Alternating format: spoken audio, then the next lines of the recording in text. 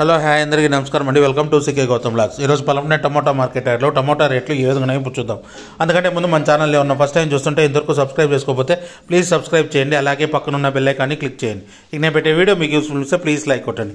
ఇక Palamaner tomato market యార్డ్లో ఈరోజు స్టార్టింగ్ మూడో రకం క్వాలిటీ వచ్చేసి యాభై రూపాయల నుంచి నూట యాభై రూపాయల వరకు తీసుకున్నారు థర్డ్ రకం క్వాలిటీ ఫిఫ్టీ రూపీస్ నుంచి వన్ ఫిఫ్టీ రూపీస్ వరకు తీసుకున్నారు థర్డ్ రకం క్వాలిటీ ఇక సెకండ్ రకం క్వాలిటీ విషయానికి వస్తే నూట అరవై రూపాయల నుంచి రెండు వందల ముప్పై రూపాయల వరకు తీసుకున్నారు. వన్ సిక్స్టీ రూపీస్ నుంచి two hundred and thirty rupees వరకు తీసుకున్నారు.